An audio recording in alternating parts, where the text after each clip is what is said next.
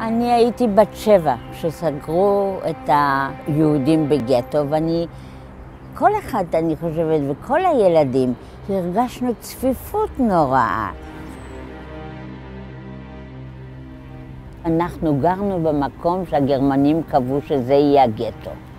אבל אחר כך התחילו כל כך הרבה אנשים להגיע לגטו, ולא לכולם היה מקום.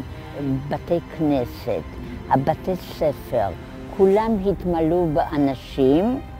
בנוסף, כל משפחה התחייבה גם כן לקבל אנשים אליהם. הכל הצטמצם כל כך, וכל כך הרבה אנשים היו, אני זוכרת כל כך הרבה אנשים היו.